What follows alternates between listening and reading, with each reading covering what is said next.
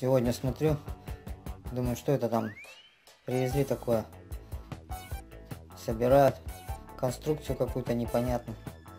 А потом-то пригляделся, поближе-то посмотрел. Понял, оказывается, это причал будет для будущей лодочной станции.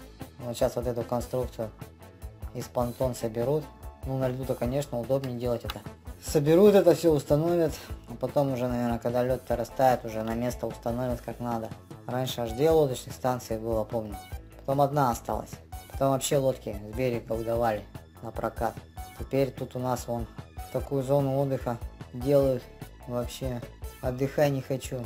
И на лодках кататься, и загорать можно, и купаться, развлекаться, и для детей там шашлыки жарить. Ну прям город-сказка, город-сад. Спасибо администрации. Так-то за последнее время город очень преобразился. Много что сделано. Желаю дальнейшего процветания нашему городу Краснотуринск.